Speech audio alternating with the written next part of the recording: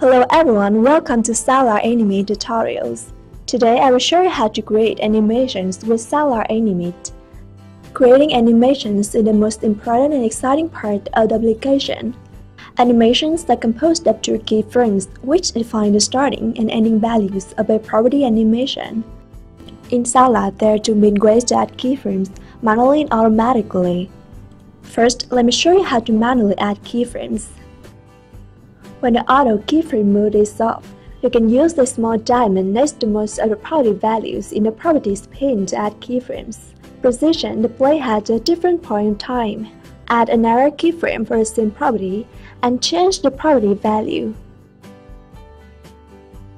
A bar between the two keyframes appears, indicating that the property is animated.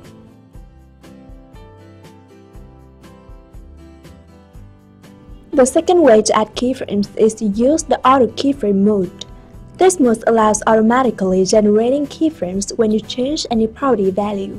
To turn this mode on, click the Auto Keyframe Mode button in the timeline pane. Let's see how I make the balloon move across the different positions.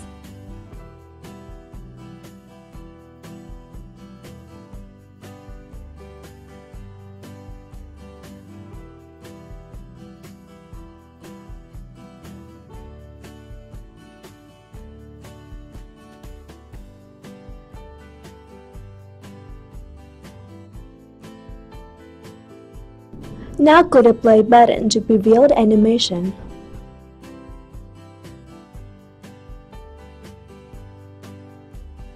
Note that the animation segments to be created automatically contain transitions that allow an element to gradually change from one state to another over the course of time.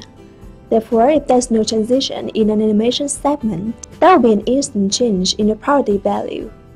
To remove a transition from an animation segment, Right-click that segment and select Remove Transition from the context menu.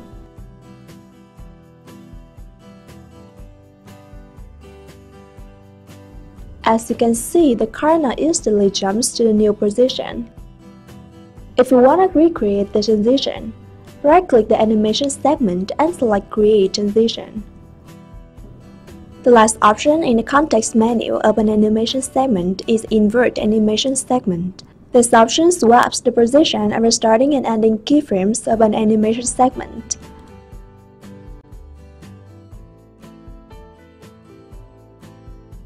You can see clearly that the car is now running backward.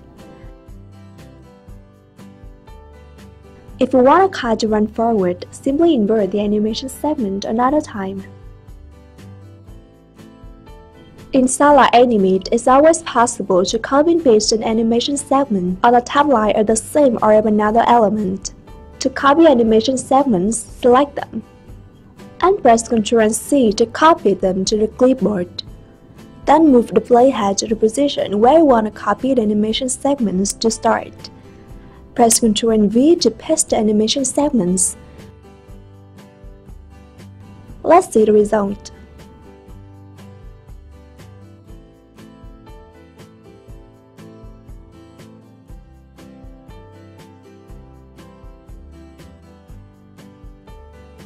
If you don't want any animation segments, select them and press the delete key to remove. When it comes to creating and editing animations, we also need to mention easing methods. Easing lets you change the acceleration and deceleration of a transition to make your transition more natural. Let's see how I apply easing to the transition of this car. First, select an animation segment. Next, select Easing in the timeline pane. Here I choose Inaccurate Easing method. Let's see the result. You can see that the car speeds up until halfway and then slows down, and its movement is really natural. So that's how to create and edit animations in Saola Animate. Thank you for watching.